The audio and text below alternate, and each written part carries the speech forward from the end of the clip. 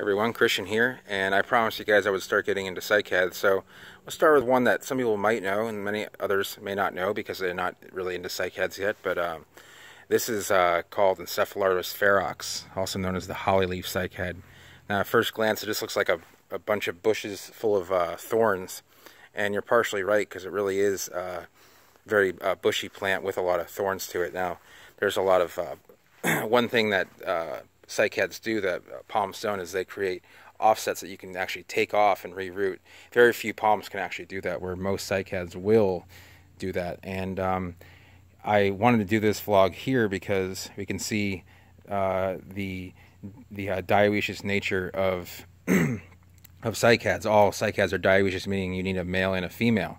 Those are male cones that are now uh, they've dropped their pollen, and this is a female. The female has a nice uh, red cone about it. In fact, it's very hard to get to, and that's why the, the plant uh, did that on purpose, so that we wouldn't, uh, you know, animals wouldn't get in there and eat them before the plant itself was ready to uh, let the cones dehisce. The de dehiscing is a term meaning the cone falls apart and the seeds fall down, and then it allow it basically allows animals to get them from the ground or any place that they may be able to reach. So um, usually, actually almost all the time you will need to pollinate, at least in North America, Encephalartos, uh, as the there are no natural pollinators. So even here, unless the wind blew it over, this cone is probably not pollinated. So the male cones are going to be longer and not as wide, and the female cones are going to be uh, shorter and fatter, which is I can't really.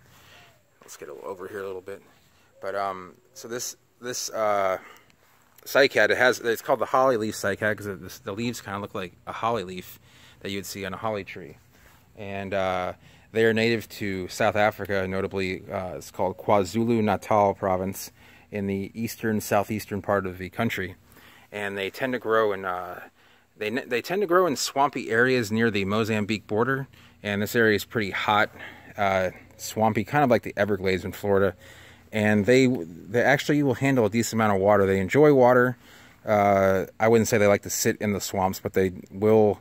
They like the water to run by them. Um, I think the, their drainage is pretty decent there, and uh, this is one of the cycads that will handle a lot more water, like the what we have in Florida, versus a lot of the blues, blue cycads that you'll see um, around the internet. So this is used in landscaping sometimes in uh, in Florida because of it. It seems to really do well in South Florida with the alkaline soil. And uh, another thing about this cycad is it's uh, it's relatively cold hardy. Uh, I would say it's probably a zone nine, a zone zone mid zone nine. Uh, it'll take 25 degrees. It, will it'll definitely burn. The leaves will burn. You could burn all the leaves and they'll regrow. Uh, the next you know the next come spring, I guess you could say. And um, yeah, the seed is going to be uh, ovoid. It's going to be, well, I'm sorry, it's going to be more like a, almost cylindrical. Ovoid to cylindrical, uh, about mm, inch and a half to two inches long, maybe uh, three quarters of an inch wide. And those, each of them, one of those cones can hold uh, a couple hundred seeds. Uh, and this plant, you know, these plants are a little bit harder to find around. You can get seedlings for $10 or so.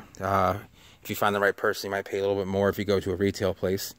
But uh, when they're solitary, they can they tend to do this. If you can see here, there's actually uh, two heads to this to that one there. Uh, one is kind of right here, and then one is kind of over here. And if you look in the middle, you can kind of see where there's two. One's kind of breaking away from another, and that's actually called cresting, where uh, a head will actually turn into two and it won't really separate and create two trunks. It'll more just keep its height, but just create two separate heads to it and create a, a, a crest of heads, so to speak. So um, it, it, gives it a neat look. Some people don't like it because it, it kind of gives it a little bit less tidy look, um, if it, as opposed to having a single head. But you can always, um, you can't cut the cresting part off, but you can uh, cut off pups, and there are a couple pups on this male here. and but they're as you can imagine, they're quite a uh, pain to get to. Uh, you will bleed. Uh, I recommend this is a little trick of the trade to use welder's gloves. Uh, you won't get uh, poked nearly as much. So um, these plants are protected under CITES, which is a uh, Center of International Trade of Endangered Species. under Appendix 1, so you can't send, you can't send seeds or plant material across international borders. So if you're looking for this plant, look for it within your country because bringing it, you need special permits to bring it uh, across borders. So uh, with that said, it makes a great landscape plant. It's a cool, it's a definitely a novelty for those who aren't really into cycads but kind of want something different. And um, that one definitely needs to be trimmed up. I prefer the trimmed look. Uh, this is more of a natural look. The leaves kind of, you know, they hold down at the horizontal. So with that said, if you guys have any more questions about Encephalartos ferox or other uh, like that, or cycads, introduction I should say, because this, this, should be the first vlog I believe about cycads, um, leave a comment down below if you enjoyed the video. Give it a thumbs up, and if you are new to the channel, go ahead and subscribe. And I hope you guys enjoy your holidays. Thank you.